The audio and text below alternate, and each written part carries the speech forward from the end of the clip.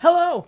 My name's KritterXD and welcome to my channel. Today's video, I will be watching and reacting to The Legend of Vox Machina, Episode 2. We watched Episode 1 a couple days ago, really, really loved it. I'm learning about the characters because I am not a critical role person, yet, despite my name. I am really enjoying it so far, though, and I cannot wait to see what happens next. So, just a reminder, please subscribe to the channel if you haven't yet, like the video, share the video, comment on it if you have thoughts, and if you want notifications whenever I post new content, hit the little bell. Okay, without further ado, let's get into it. So that's David Tennant? Is that the same character? Entrusted by Sovereign Uriel with the safety of the realm. Is it really? Need to know the enemy. Oh my god. I can hear it, but it's so different than his actual voice. Already? In what universe is that gonna work against a dragon?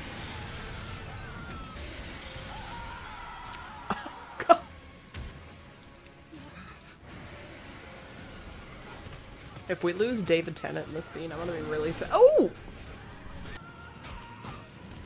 Wow. Wow. Please tell me we get the song. Aw, that must be how they started. I love this intro. White haired Daniel Jackson. This guy. Yes, more David Tennant. have made my decision, Lady the bear. The creepy one looked like a withered piece of scrap leather. That's what they want you to think. So, what, What if it's the king? I'll tell you when I have one. Those and magical artifacts at discounted prices. I take gold, silver, platinum, Vaxel, Dan. I was hoping you would swing. Hate being insulted. This is playing out just like a D&D thing. The dungeon master. He's right now, he's the dungeon master.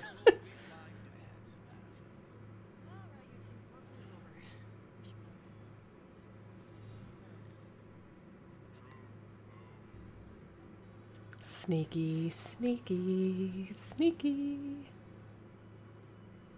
Roll one for stealth.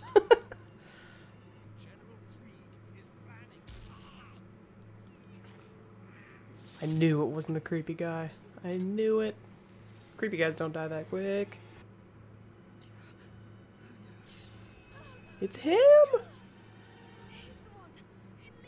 Well, they got me.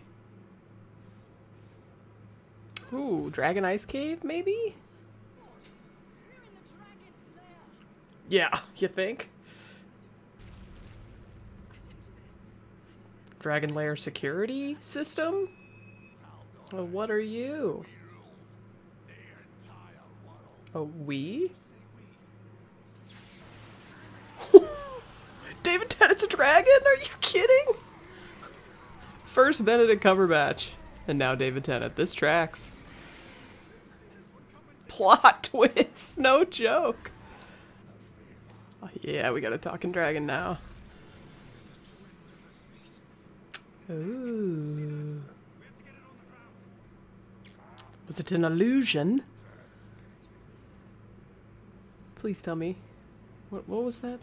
How? It was an illusion! She's doing much better this fight.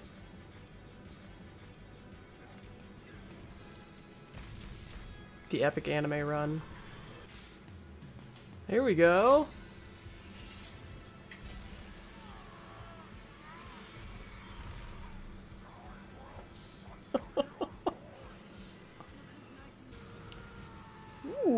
He have a berserker mode? I don't think we've seen this yet.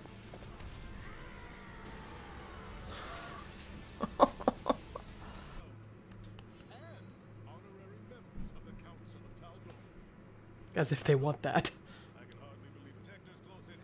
Oh, little base of operations.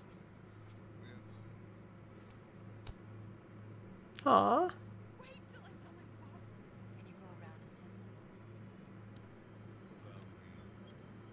Was that Azula?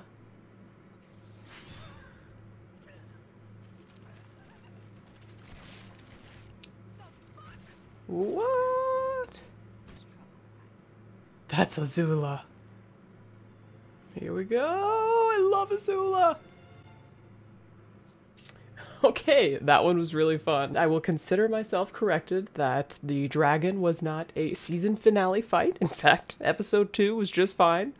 Um, I loved the David Tennant is the general guy who is the dragon twist. I I thought that the creepy guy was too easy, but I I would not have picked that guy as being the mole.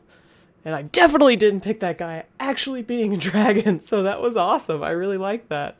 Um, I really enjoy how this switches animation styles, especially during the fights. It goes from that I don't know that that odd metallic look on the dragon specifically to the normal animation and then at times you get the like even more cartoony, less detailed kind of like it reminds me of anime em- emotion, you know, you would you would picture like a little hashtag above their head to indicate that they're like upset or whatever. Like I I like how it kind of bounces back and forth between those things. It it keeps me at least engaged visually because things keep changing and it's it's it's really dynamic. I think that was Azula in the cart, and I'm really excited to meet her because, man, she was incredible in Avatar. I feel like we haven't really gotten to know the. Well, I don't actually know his name, but the guy who looks like Daniel Jackson with white hair with the pistols, he kind of reminds me, and probably just because I just finished reading the Wax and Wayne trilogy by Brandon Sanderson. Uh, well, it's a trilogy so far. The main character is Waxillium, and he's kind of a gun toting dude. And because the show has little hints of like Western, it's got Western vibes, you know, the the the wagons, I, the pistols. I don't know. Because of that, and because he's the one wielding the pistol, he reminds me of Waxillium. But I would like to get to know him better. He he seems like he's got a dry sense of humor. He just hasn't been the focus yet in any of these episodes. So I I want to see what he's all about because I feel like I've got a bit of a vibe for all of the characters, except for him really. Other than obviously he likes to feel fancy, but that's not really a personality. That's just something about him, you know. We've still got the humor with Grog. I always want to call him Kronk because of Emperor's New Groove, but I think his name is Grog. He was pretty funny still, and uh, so was the Bard guy. All or Sc- Scanlan, yes, Scanlan. I remembered. Um, Vex, still really love her. I love how she's the leader. Uh, th- I think I relate the most to her, not because I'm just a natural leader, but again, she's a ranger. I love that. I love that she's got a bear. Um, she's got the spidey senses going. I really like her vibe, and her brother actually, he's growing on me too. He's giving me like like bisexual vibes, which is great because you love to see the representation and uh and yeah, I don't know, he's kind of like feisty and like sexy in a way. So um I feel like we got a little bit more of him this episode too and and I am not complaining. I liked him a lot. I guess I don't exactly know. They said that there's more going on than just the dragon, so I'm curious to see where it goes next because that feels like a nice little like two-parter that resolved itself. And so now I guess it was just the beginning of a greater story, you know? That's their them proving themselves. Their first time out or whatever, and now we know they're capable, and so we get to see what they can do with the rest of the world. I did get the sense that there was some some real D&D elements coming into play in this episode. So, for example, whenever they went to that merchant guy with the magic sword and tried to get information out of him, it really felt like, you know, we were playing a D&D game and we went to a local merchant and we were kind of playing with discussing things with him and the dungeon master was kind of like rolling in the background like how much am i going to give them for the money they gave me? I don't know it felt fun. Like you definitely if you've played d&d at all i feel like you would pick up a little bit of a vibe. You would pick up that this is based on d&d from some of the things that you see like the like whenever scanlan and grog or kronk or whatever they were trying to follow that elf guy uh, the creepy dude um, you could tell that they were not getting great stealth rolls because they kept running into stuff. So both of those instances to me really felt very D and D, which I thought was really fun. So yeah, Episode 2, another super fun episode. Really loved the fight scenes. The dialogue is super fun. The group dynamic, I'm enjoying a lot. I, I can't wait to see episode 3. Once again, just a friendly reminder that if you haven't subscribed yet, I would really appreciate if you did. If you enjoyed this video, please like it. Comment if you have some thoughts, hit the bell for notifications, and if you want to support the channel in a way that isn't free, because all those other ways are free, please feel free to become a member on YouTube or join my Patreon. All the information for that is in the description of this video or on my like YouTube profile. You can find it. And finally, I want to say thank you to my generous patrons. You all are the absolute best. I am so blessed and privileged to have you along the ride with me, supporting me in all of my content endeavors. Thank you so much for your support. And with that being said, thank you so much, and I'll catch you next time.